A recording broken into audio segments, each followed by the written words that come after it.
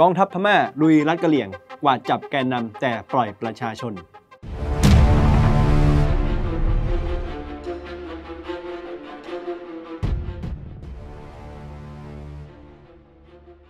สวัสดีครับคุณผู้ชม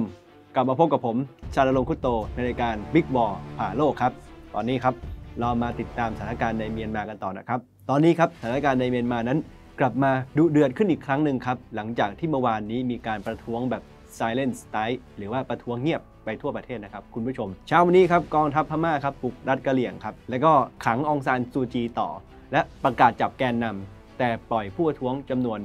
682 ราย วันที่ 25 มกราคม การปฏิวัติฤดูใบไม้ผลิครับก็ได้เริ่มต้นอีกครั้งหนึ่งครับนำโดยครอบครัวทางการแพทย์จากเมืองมันดาเลครับได้เดินขบวนครับอีกครั้งหนึ่ง หลังจากที่มีการชุมนุมประท้วงแบบเงียบทั้งประเทศครับคุณผู้ชม ที่ทำให้ทั้ง เมืองหลวงครับเมืองย่างกุ้งหรือเมืองต่างๆครับเป็น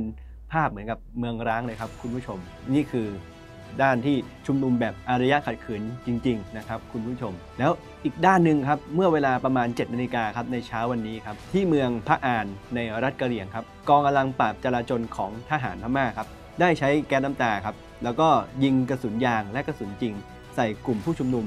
มีผู้บาดเจ็บหนึ่งราย หลังจากที่กลางดึกของเมื่อวานที่ทหารคชินอิสระครับได้โจมตีค่ายพม่า ที่เมืองพะโม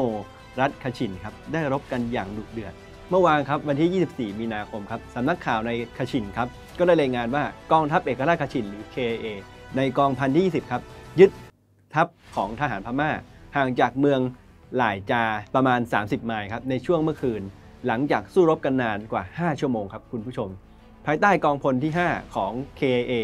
กองพันที่ 24ทับ19 ได้ซุ่มโจมตีทหารพม่าที่ตั้งฐานอยู่บนดอยแซ่เต็ง รัฐกชิน ได้ชัยชนะยึดค่ายทหารพม่าไปอีกหนึ่งแห่งขณะเดียวกันครับในหมู่บ้านในเมืองพระโม รัฐกชิน กองทัพแห่งชาติกชิน หรือ KA ก็ได้เข้าจู่โจม ค่ายทหารบนดอยอลอลาซู เช่นกัน จนถึงเวลา 23นาฬิกา5นาทีครับ ทางพม่าครับก็ได้เพิ่มกำลังพลทำให้กองทัพทั้งสองฝ่ายปะทะกันอย่างดุเดือดแบบไม่ยั้งมือเลยครับคุณผู้ชม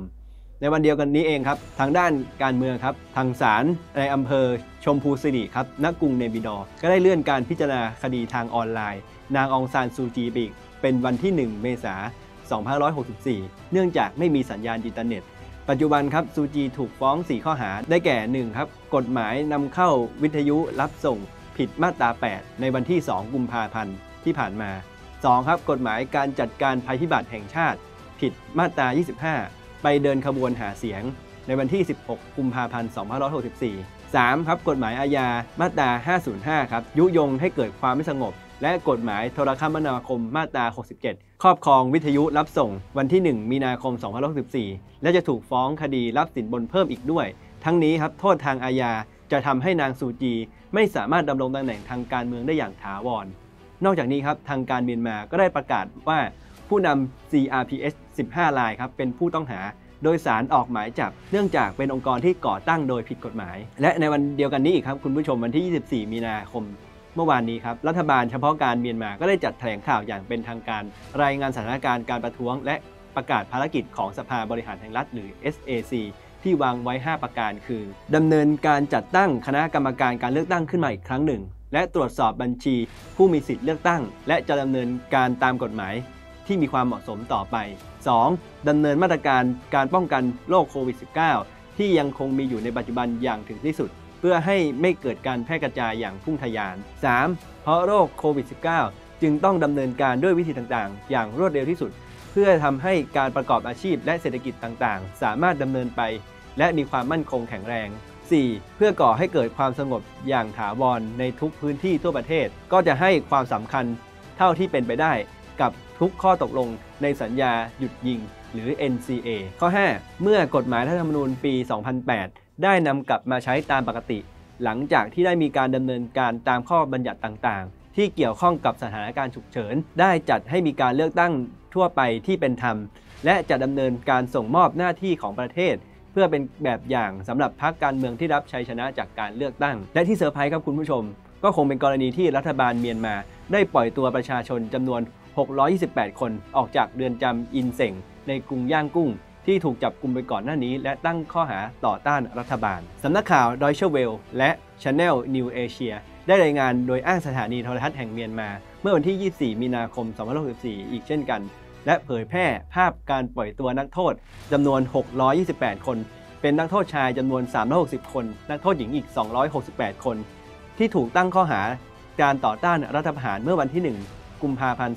2564 โดยปรากฏภาพเป็นรถบัสนำนักโทษออกจากเรือนจำซึ่งส่วนใหญ่เป็นนักศึกษาและสื่อมวลชน 40 คน จากเรือนจำอินเซง ในเมืองย่างกุ้ง และก็สมาคมช่วยเหลือนักโทษทางการเมืองครับหรือ AAPP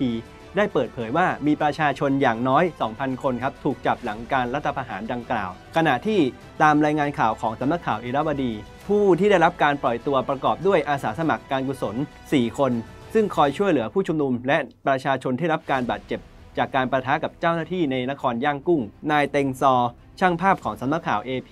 และกลุ่มนักศึกษา แต่ยังไม่รวมนักข่าวราว 20 คน และนักศึกษาจำนวนมากที่ยังถูกคุมตัวไว้อยู่ครับสถานการณ์ในเมียนมาตอนนี้ครับคุณผู้ชม หลังจากที่ได้มีการชุมนุมแบบเงียบครับทั้งประเทศไปเมื่อวันที่ 24 มีนาคมครับสถานการณ์การชุมนุมครับก็ได้กลับขึ้นมาอีกครั้งหนึ่งครับตั้งแต่รุ่งสางของวันนี้เลยครับ แล้วก็มีการประทะกันอย่างดุเดือดครับ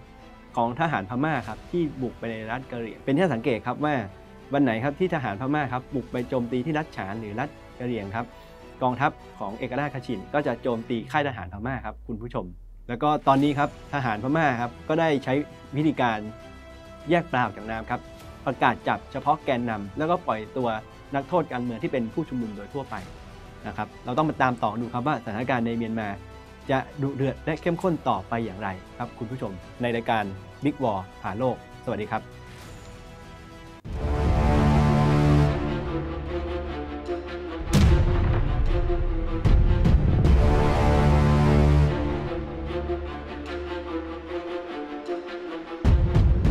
ฝากกดไลค์ กดแชร์ กด Subscribe เพื่อไม่พลาดข้อมูลข่าวสาร และสถานการณ์สำคัญ ทันทุกเหตุการณ์ พร้อมด้วยการวิเคราะห์เจาะลึกทุกข้อมูลข่าวสาร เพื่ออนาคตที่ดีของประเทศไทย จากทิศทางไทย